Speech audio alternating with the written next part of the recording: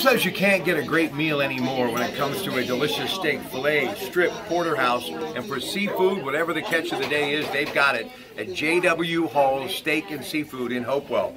It's your Pratte Pack. We're on the road tonight, and Joe Hall is a dear friend who's been a big part of this business that we call Beaver County. And I want to remind everyone about the wonderful Hopewell Shopping Center and Kuhn's Market. And you know, the recent news of the Moon Township store closing, hey, for those of you in that part of this region, it's a short drive, just about 10 minutes. We'd love to have your business, and we'd be honored to have your business here in Hopewell at Kuhn's Market. Now, let me tell you what's happening on Rob Pratte Saturday. We start off at 5 a.m. with the latest from CBS Radio News, the active the forecast.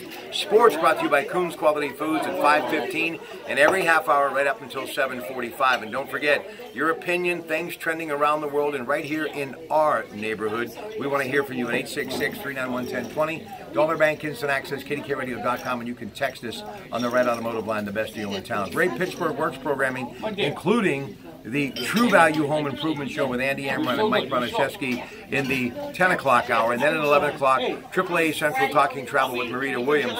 And then more Pittsburgh Works programming, including Get Well Naturally, the gang from the Weiner Wellness Center, Dr. Joseph Honigman, Gideon, Gideon Orbach, and Jeffrey Nisnik. And then at 2 o'clock, it's all about business. He is Raja. It's the Raja Show. Rob Pratte Saturday, 5 a.m., KDKA Radio.